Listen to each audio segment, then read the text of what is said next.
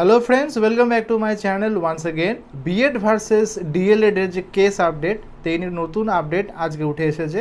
আপনারা জানেন যে লাস্ট যে আপডেটটা আমরা পেয়েছিলাম, সেটা হচ্ছিল যে কুড়ি তারিখের পরে যে হিয়ারিং বা ফাইনাল জাজমেন্ট সেটা ডেট দেওয়া হয়েছিল চব্বিশে জুলাই, যেটা অলরেডি হয়ে গেছে।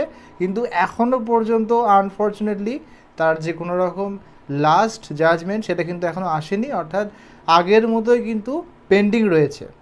এবং এখনও পর্যন্ত এটা বলা যাচ্ছে না যে বিএড না ডিএলএড কারা এগিয়ে রয়েছে। আগামী যে জাজমেন্টের দিন সেটা ঠিক করা হয়েছে আগামী আগস্ট মাসের প্রথম সপ্তাহে। আগ- আগামী আগস্ট মাসের প্রথম সপ্তাহে ডেট ঠিক করা হয়েছে। জানি না এই ডেটটা কতদিন এগোবে এবং নিয়োগ প্রক্রিয়ায়, আগামী যে প্রাইমারি নিয়োগ প্রক্রিয়ায় কোনো রকম বাধা সৃষ্টি করবে কিনা।